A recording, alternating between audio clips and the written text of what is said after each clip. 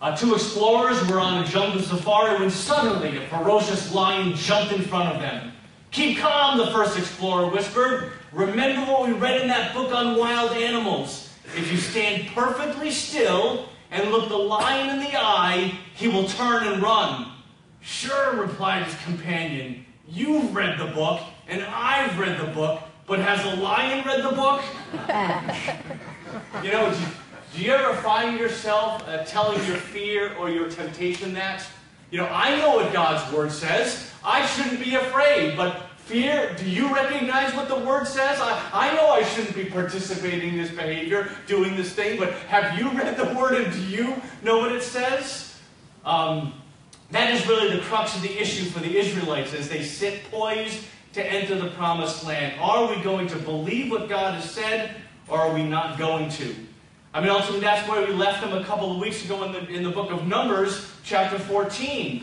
Uh, remember, for the past several weeks, barring last week, uh, we used their situation to think about our own promised land, the blessings and the kind of life God sets before us and welcomes us to enter in. I suggested personal intimacy with God, Holy Spirit directed and empowered living. As essential parts of what God offers us and calls us to.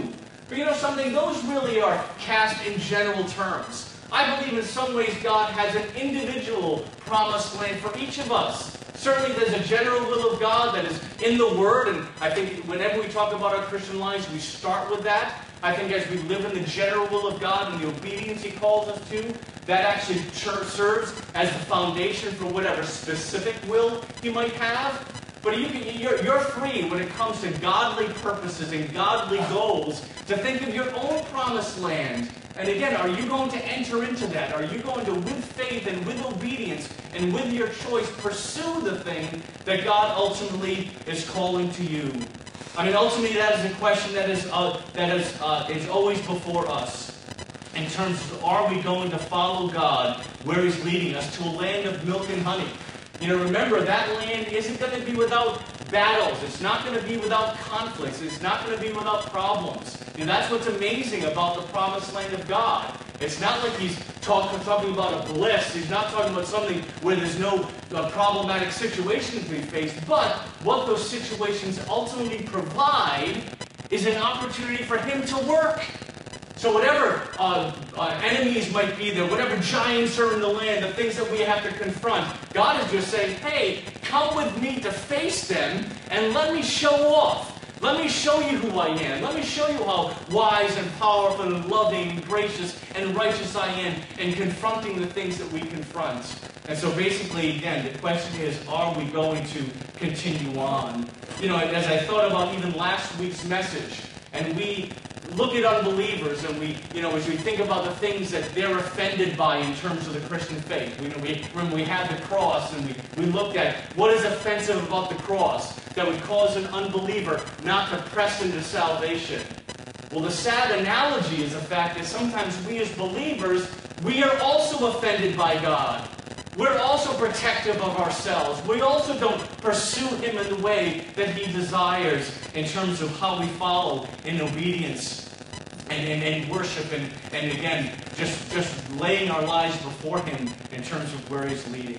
I mean, ultimately, if you're already in Numbers 14, I hope you are, uh, let's see what result comes to the Israelites. Again, as they're poised to go into the promised land, but then fail in disbelief and not following God. It says in verse four, uh, chapter 14, verses 1 through 4, that night all the people of the community raised their voices and wept aloud. All the Israelites grumbled against Moses and Aaron, and the whole assembly said to them, If only we had died in Egypt or in the desert. Why is the Lord bringing us to this land only to let us fall by the sword? Our wives and children would be taken as plunder. Wouldn't it be better for us to go back to Egypt? And they said to each other, We should just choose a leader and go back to Egypt. Um, do you see what disbelief creates? What it fosters in our hearts? I mean, all this grumbling and blaming and complaining and hopelessness and assigning evil intent to God. That ultimately the Israelites aren't saying the problem is ours, The problem is God's. The problem is Moses. If you had hadn't uh, just led us here, our lives would have been great. Why did you take us, us out of Egypt in the first place? Again, that's the kind of things that happens when, again, we, we set aside faith. We don't believe God. We don't press into the things that He has for us. See, that in some ways, that's all we're left with. See, once we don't have God's glory, we don't have God's promised land, God's provision for our lives, and we're left to ourselves to figure out what to do, to figure out how to live life, how, figure out how to negotiate through relationships and deal with suffering and deal with problems, and we're on our own, well, of course you're going to complain. Of course you're going to blame. Of course you're going to talk about how victimized you are about life and there's nothing you can do about this or that. See, that's the condition outside of God. But in God, there's always solution. There's always a path. There's always power. There's always provision. But ultimately, that is what God is welcoming us in. See, I think we have to be careful when this sentiment becomes a sentiment of our hearts. When we find ourselves complaining like this, blaming God, again, blaming other people in terms of the situation we find ourselves in, I think we have to be careful when people we're around start talking like this. When you associate yourself with people that are complainers and blamers and the people that are pointing fingers and don't believe God. I mean, Satan loves to encourage this pattern of thinking. This, this, this is the pattern that he started right from the beginning. Did God really say that? Is that really God's intent? God doesn't have things for you. He's against you. He's trying to keep you from something. You should just handle this in your way. You should take the matters under your own control in terms of what direction your life is going to go in. You shouldn't believe God. Again, there's going to be that influence inside us. There's going to be that influence in the spirit realm. There's going to be influence like that in the world. And we as believers, again, are the ones who reject that.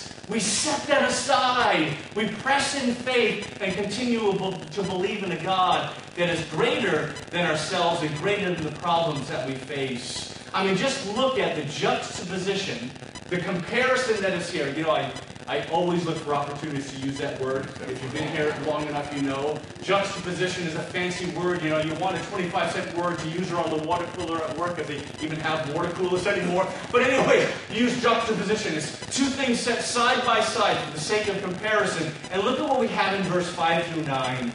Then Moses and Aaron fell face down in front of the whole Israelite assembly. Gathered they gathered there. Joshua son of Nun and Caleb son of Jephunneh, Jephunneh, who were among those who had explored the land, tore their clothes and said to the entire Israelite assembly, The land we passed through and explored is exceedingly good. If the Lord is pleased with us, he will lead us into that land, a land flowing with milk and honey, and will give it to us. Only do not rebel against the Lord, and do not be afraid of the people of the land, because we will swallow them up. Their protection is gone. Their, their protection is gone, but the Lord is with us. Do not be afraid of them. I mean, do you see the comparison between the blamers and complainers, the ones that don't believe God, that are looking from their own vantage point, looking from their own uh, resources, sort of dealing with the situation? But then what comes from a person that believes in God, and believes in power, and believes in something greater?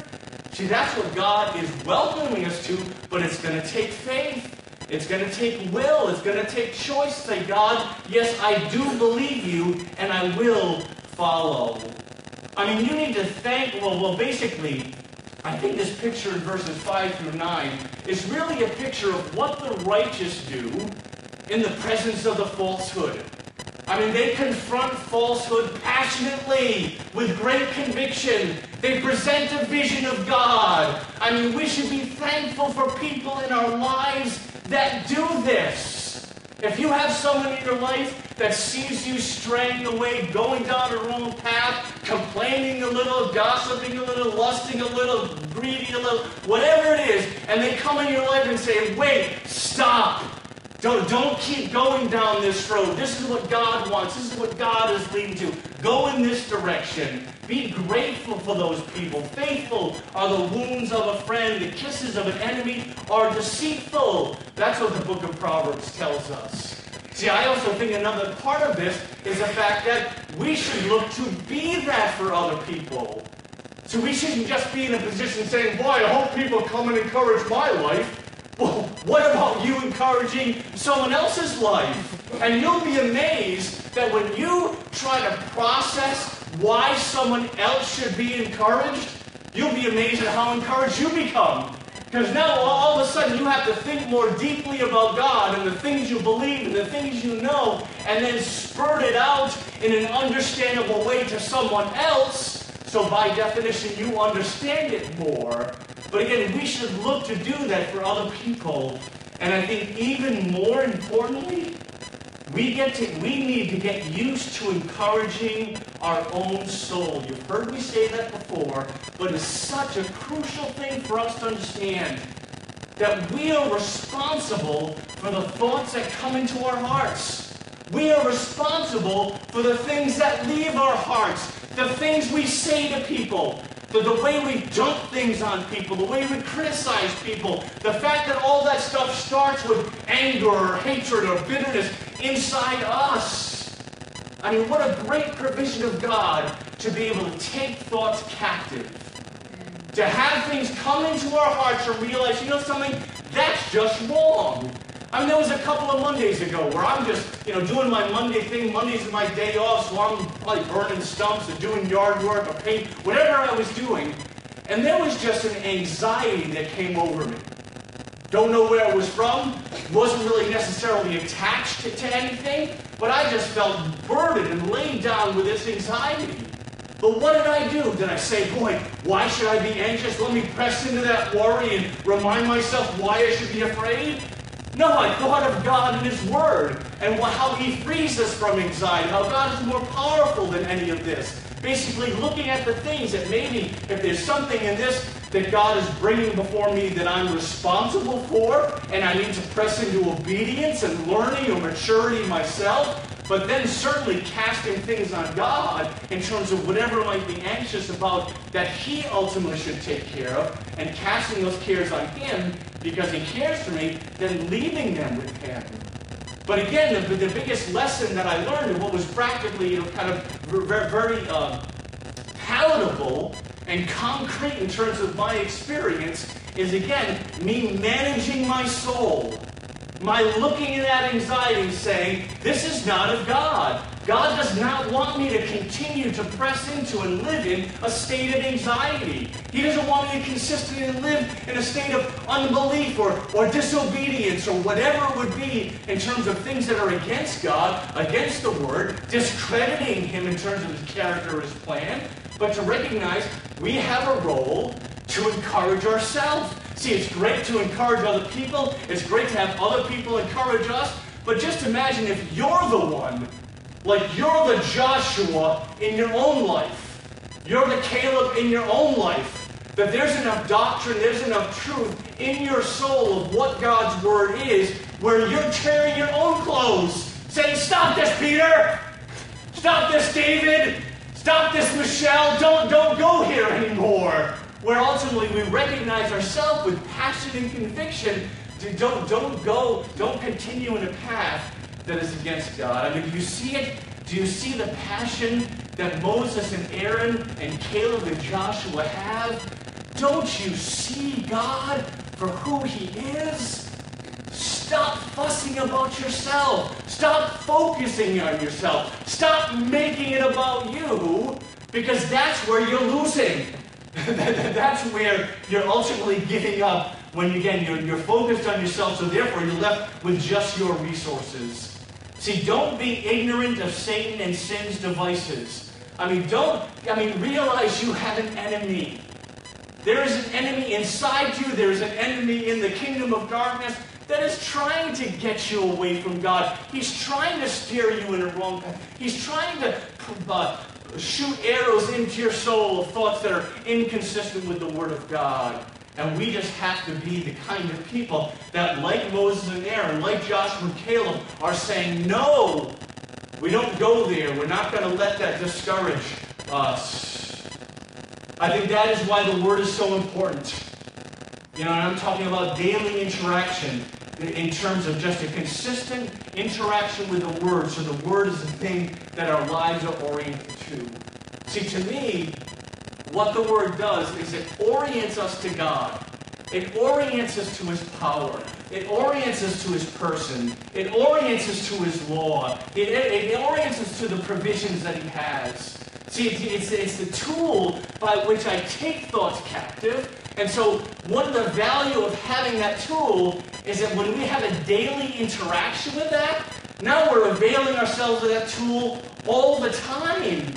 And, and that word that we're reading and engaging with on a daily basis is fueling and empowering and encouraging the word that I've read last week and the month before. It all goes together. But I'll get, I'll get that, into that more later on our passage where it will become more important. But just realize how important having the word in your soul allows you to be your own Joshua, your own Caleb, your own Moses and Aaron, encouraging your own soul in terms of the things that come against you. See, ultimately, without the word, you are dead in the water. Without the word, you are just vulnerable. You're just a target. I mean, just I mean, to the extent that you're a believer, like you, you've gone out on a limb in terms of the dynamics of the, spiritual conflict between God and Satan, where God is trying to bring his glory to bear, he's trying to manifest himself to, to, in terms of the faith we have, in terms of the people that are, are, are building their lives up in him. God is trying to encourage all that. Satan is trying to break that down. So ultimately, you put yourself out there, waving your flag, yeah, I'm a believer, but I'm not going to be strong. I'm not going to have faith. I'm not going to have the word. But look, I'm waving the flag. People at work know that I love Jesus. I sing praises and say praise the Lord all the time. But now all of a sudden you're not in the Word. You don't, you don't have the food, food to fuel your life in Christ. Well, Satan's going to have a hey, have a field day with you in terms of just how he's going to be able to come in and corrupt your soul, twist your thinking, get you discouraged. Now all of a sudden the person that is waving the banner of Jesus is being disobedient. You're the one complaining. You're the one blaming. You're the one doing things wrong. And so just watch out for that in terms of, again, how where we are in terms of our lives with Christ and why God is encouraging us. See, He wants us to press into what is good but it is the good that He has for us. It's not the good of the flesh. It's not the good of excitement. It's not the good of excitement, but it's, a, it's the good of our Creator. It's the good of what He can plan and what He can foster. And again, He's saying, come into it. But we have these two influences put before us that, again, are active in our hearts, is active in our world. People that say, nope, don't go there. Can't trust God. Of course you can trust God. Look at it the way He describes it. But look at how the assembly responds to Moses and Aaron and Joshua and Caleb. But the whole assembly talked about stoning them. Just imagine that. Just imagine that. That here, like in our minds, we think Moses, well, maybe not so Aaron, he made a lot of mistakes, but Moses and Joshua and Caleb, these heroes of our faith, the guys who have been faithful in God, and the people of Israel saying, yeah, let's stone them. Yeah, that, that makes sense, right? But see, when, when the unbeliever or the believer that is not pressing into God is confronted with truth, there's two paths that they will go. They will either receive that conviction and start living in that conviction, or they'll try to silence it. And that's what the people are saying. Say, we're offended by that, that that rubs us the wrong way, so the best thing to deal with it is just get rid of it. And what a sad description in terms of or, or, or the state of the, the Israelites' hearts in terms of doing that. Silencing the voice, silencing the voice of truth, silencing the conviction. We'll see things our way, thank you. But look at now when God shows up. It says here, but the whole assembly talked about stoning them. Then the glory of the Lord appeared at the tent of meeting to all the Israelites. Yeah, the jig is up. The, the Lord said to Moses, How long will these people treat me with contempt? How long will they refuse to believe in me in spite of all the miraculous signs I have performed among them? I will strike them down with a plague and destroy them, but I will make you into a great nation, a nation greater uh, and stronger than they. You know, God gave the same offer to Moses after the golden calf incident. And he talked the same way in terms like don't don't miss how God is orienting his behavior, his policies, his plan to the relative obedience of the people. So we have to understand that our obedience or disobedience affects God's plan. It doesn't affect God's character, but it does affect what He will do with us and to us. And just understand that when God reveals Himself, when God blesses, when God makes a provision of, of showing you who He is, and then you reject that, then you walk away from that, that is not something that sits well with God. That, that, that's what this should tell us. You know, there is a, there's an Old Testament context to this. You know, we don't have the same kind of relationship that these Israelites have. You know, we are, we are bought with the blood of Christ. We have the Holy Spirit within us. To be honest with you, if you look at that in the Word, it goes two ways. In some ways, we're more blessed because of that. Like, like, like, like God is in His mercy and His conviction and His way to work is different in terms of what He does internally, maybe more so what He does ex- externally. But the other way that that plays out in the world is if you have something greater, you should be more obedient. So it's a both and. You're more blessed because you're in the church age. You're more blessed because you have the Holy Spirit. But in some ways now, you're more responsible in terms of that.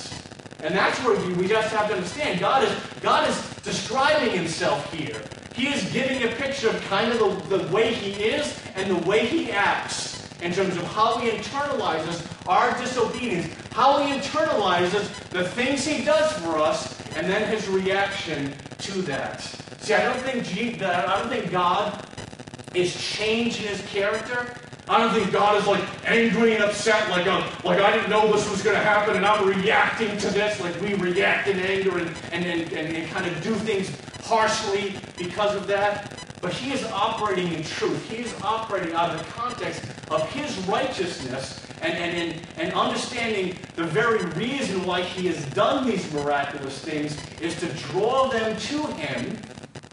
And ultimately, when they treat him with contempt, with disdain, this is what comes from God. And I think we would understand that that's warranted in terms of how God would even treat us, but being aware that that's how God works.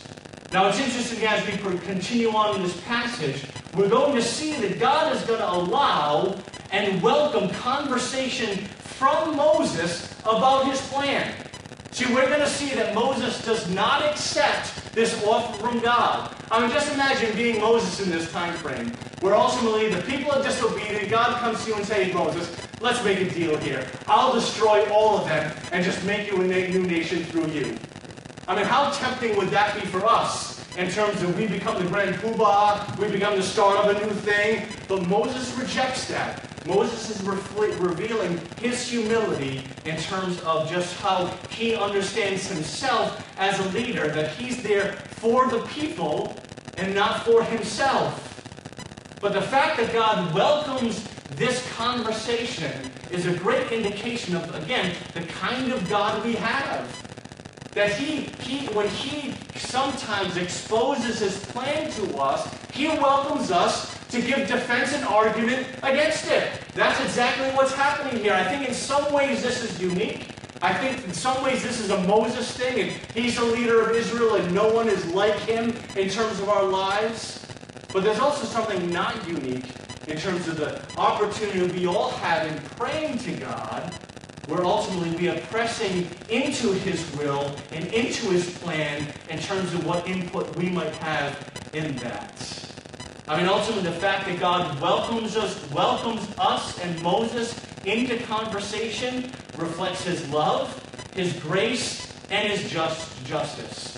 I don't think we ever change the ultimate plan of God. That's not up for discussion, but certain aspects of how it is carried out is. Don't miss that. It's not God's ultimate plan that is up for conversation, but how he cares, carries it out is. So look at Moses' response here in verse 13. Moses said to the Lord, Then the Egyptians will hear about it. By your power you brought these people up from among, from among them, and they will tell the inhabitants of this land about it.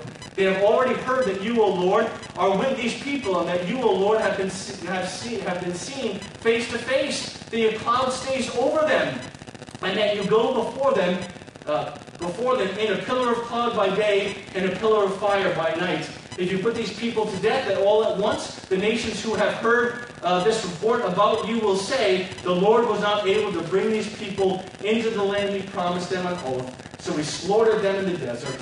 Now, now may now may the Lord's strength be displayed, just as you have declared. The, the Lord is slow to anger, abounding in love, and forgiving sin and rebellion. And he does not leave the guilty unpunished.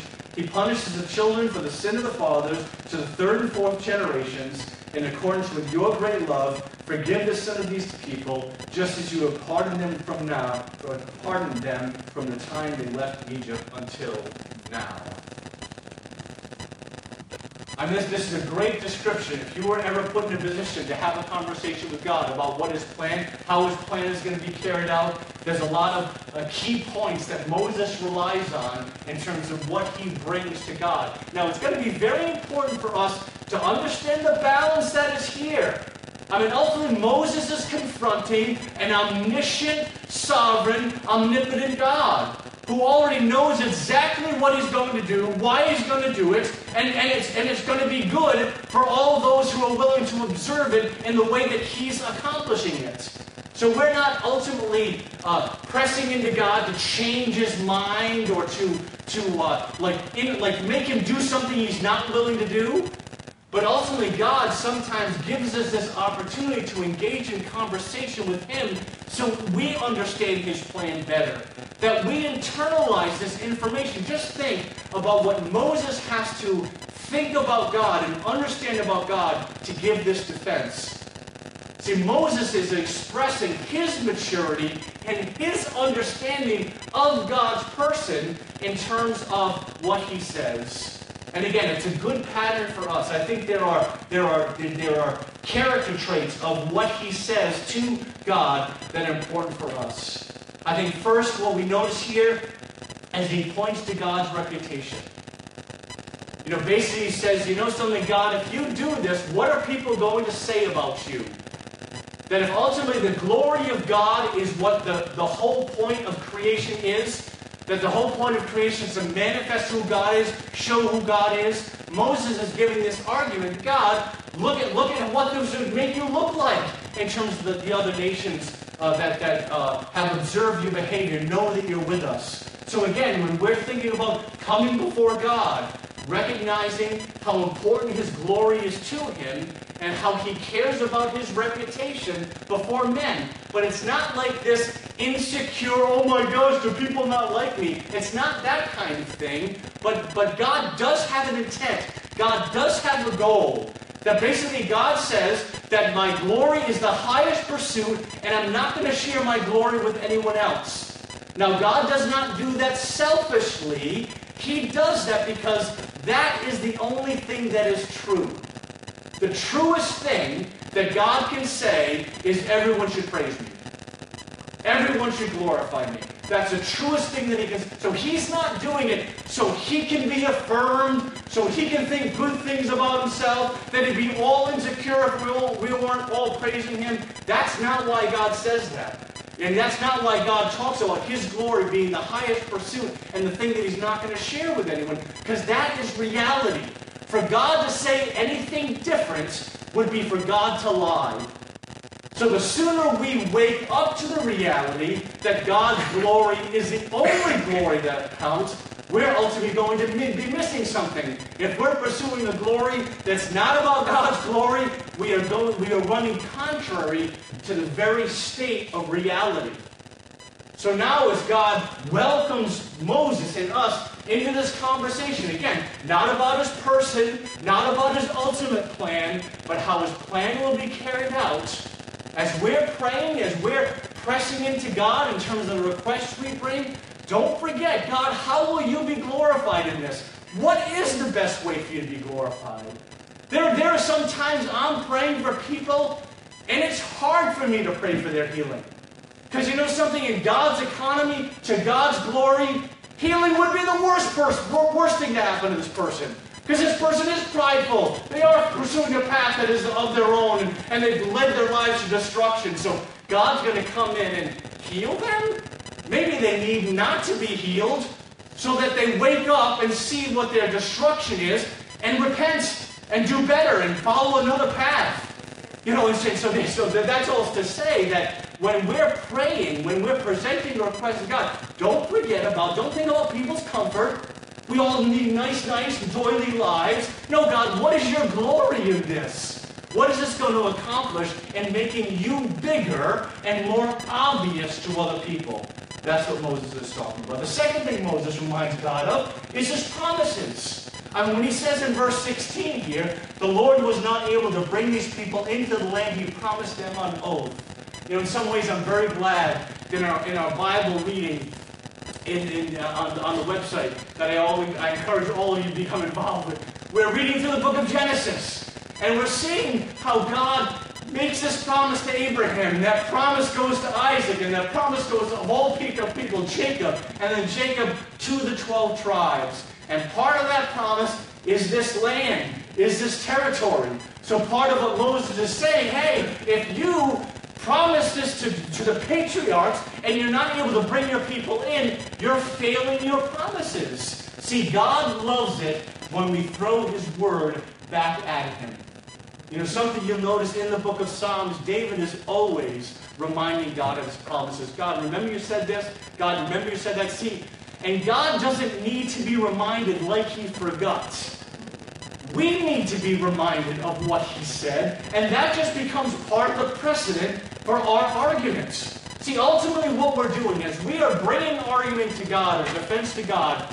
We are really returning to God everything that was his, everything that is his. So my argument does not come from human reason or my vantage point, but ultimately argument still comes from his vantage point.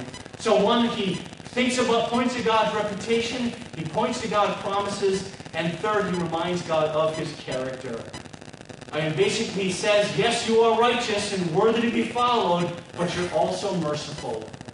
So, so, so Moses, in describing his character, just don't miss the fact that he expresses this balance. The Lord is slow to anger, abounding in love, and forgiving sin and rebellion. It does not leave the guilty unpunished.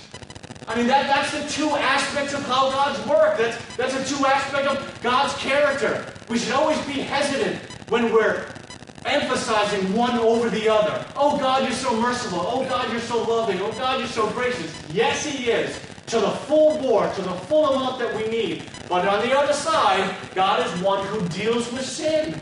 God is the one who brings consequences or allows consequences to unfold. Isn't going to free us from those things. God is a God who will discipline his children. In the same way that we as parents recognize the discipline of children is important for their growth and their obedience, God does the same thing. But again, God called Moses here, and like us, I think it's a pattern for us, reminds God of who he is. And again, that reinforces what you know and what you believe about Him. So, three important elements of conversing with God the fact that we remind Him of His reputation, we uh, remind Him of His promises, we remind Him of His character, but we enter the conversation with. Uh, we enter the conversation with God with humility that is commensurate with coming before God, we engage with the confidence of bringing to God what He has revealed to us, and we leave with the peace to know that God will do what is best for all involved. Let me say that again, because this is really the capstone of all of this.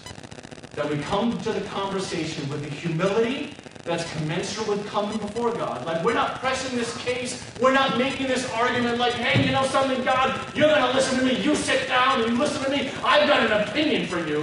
No, no, no, no. It's humble, God. Thank you for even welcoming in the conversation. I don't have a right to even be here outside of Christ and the blood that was spilled. But you, you welcome me into the conversation. And even more so Moses here.